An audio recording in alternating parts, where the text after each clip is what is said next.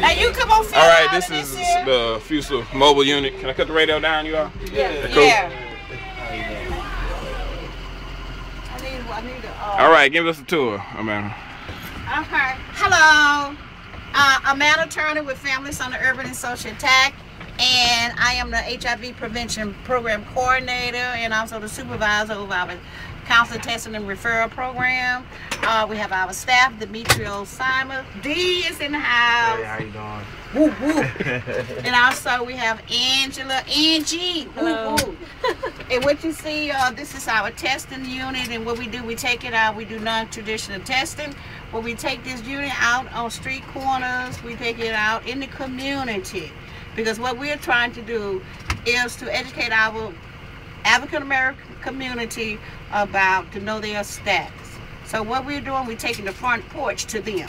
Hmm. And that way, they don't have to go out, leave out to their neighborhood to get tested. So we're bringing the services to them in their community where they all feel comfortable about getting their results since they're in their, in their environment. Appreciate it, appreciate it, man. Um, so what's what, what, what we equipped with? What And you just retrofitted. What's what's new? What's, what's, uh, what's new? What's well? What's new? This this van was really just like a luxury van. Okay. you know so what we did we took put it in the shop uh, and what we did we retrofitted this van into a testing van where we have confidential privacy Mhm. we have a counseling room back here in the back we have a testing room which these doors will we can have three testing and uh, going on at the same time Okay. this closes up to be for privacy here Okay. and this is where we run all our tests.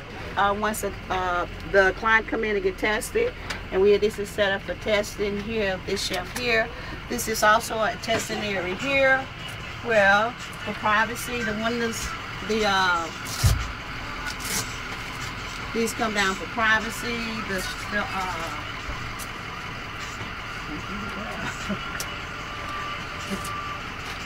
for privacy. So Yeah, she filling out the paperwork. Give us some privacy. yeah, she filled out the paperwork. So we have three testing sites. Okay. We have three testing sites for privacy and confidentiality. And also in the front, we did put lit curtains here.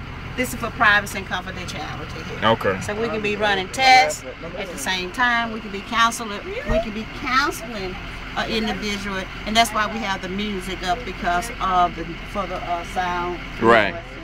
So Right. this is our testing van. Yeah, And we well, take um, it out. we get some good numbers today as far as uh, participants and turnout.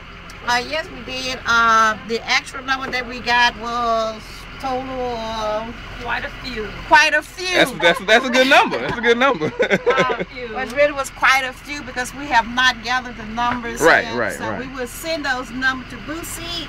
We would give her those numbers of about how many we tested, the breakdown of the demographic, including how many men's, how many women's, and the breakdown of the ages.